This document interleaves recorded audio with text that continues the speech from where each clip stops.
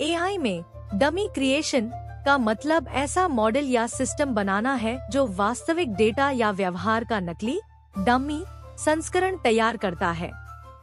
यह डेटा परीक्षण system designing या अन्य प्रयोगों के लिए उपयोग होता है। नीचे विस्तार से समझते हैं। एक dummy data generation AI model को असली डेटा की जगह नकली डेटा दिया जाता है। ताकि इसे बिना असली जानकारी का उपयोग किए परीक्षण किया जा सके। उदाहरण के लिए, अगर आपको ग्राहक के नाम और नंबर की ज़रूरत है तो डमी डेटा में सिर्फ़ रैंडम नाम और नंबर्स दिए जा सकते हैं। दो, डमी मॉडल क्रिएशन। यहाँ एआई के बेसिक मॉडल बनाए जाते हैं, जिनमें असली इंटेलिजेंस नहीं होती है, लेकिन वे ऐसा व्यवहार कर सकते हैं, जैसे असली मॉडल कर रहा हो। उदाहरण के लिए, चैटबॉट्स में एक डमी मॉडल बना सकते हैं, जो असली ग्राहक बातचीत की नकल कर सके।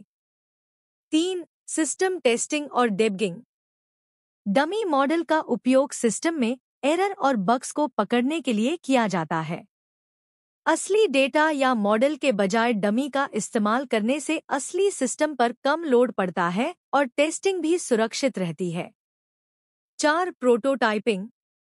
डमी क्रिएशन का एक मुख्य उद्देश्य है शुरुआती स्तर पर एक प्रोटोटाइप तैयार करना, जिससे सिस्टम की फंक्शनलिटी का अंदाज़ा लगाया जा सके।